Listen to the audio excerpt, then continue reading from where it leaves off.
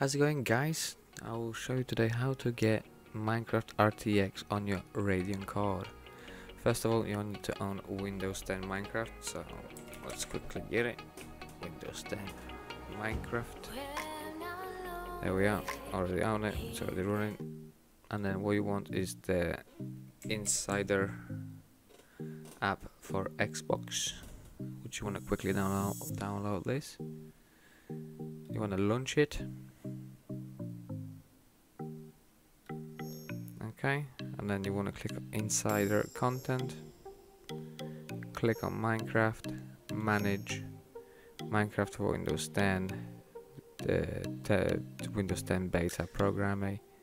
press done close that launch your Minecraft and here we are that's how it should look you have your beta everywhere and here's my setup. So I'm going to RX 6800, 16 gig of RAM, uh, Ryzen 9 3900, 12 core, 16 gig of RAM, dedicated memory enabled at the moment.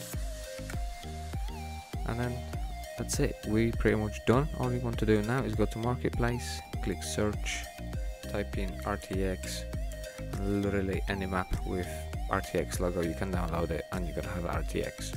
It's free as well so you don't have to pay for it. Like this. It's literally just free. Click on it press accept boom you're done. Download it. Jobs are good. Uh, then what you want to do is go create new world. Oh no yeah you're gonna select one of the RTX templates that we've got here. Uh, let's select the coral lightning and shadow show showcase before you continue, make sure you always check your pack is activated is the RTX resource pack on every map. And just hit create.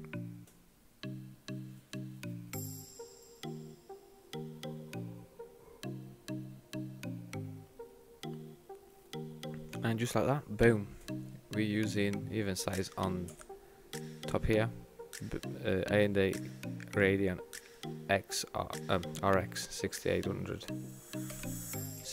And that's it. Look at that. We have a full-on ray tracing on Radeon because Nvidia is not well. Ray tracing is not owned by Nvidia. They're just using it as advertisement. But yeah, that's a fully ray traced map on a Radeon card. Not the problem. You can see all the lights and that this is mirror. Literally that's glass. That's just broken. See?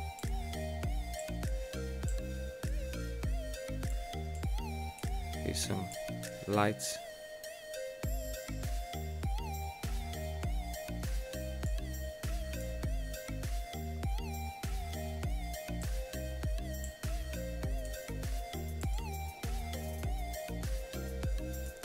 It's really cool honestly you can you can see every individual hole in that flap.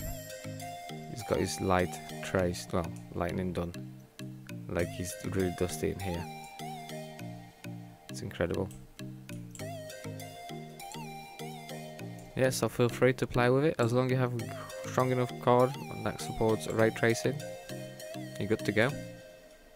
For now peace